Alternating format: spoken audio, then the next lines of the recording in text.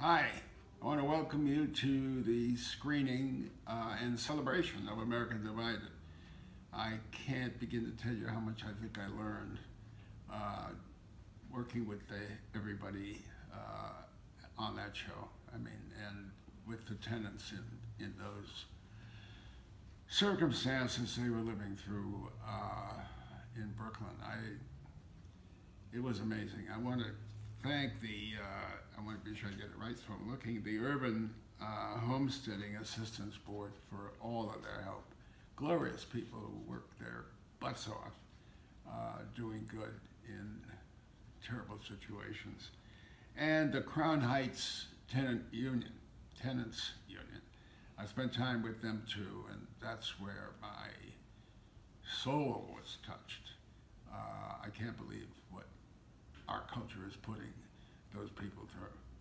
We've got to, and we will, uh, do something about it and get on the other side of all of this.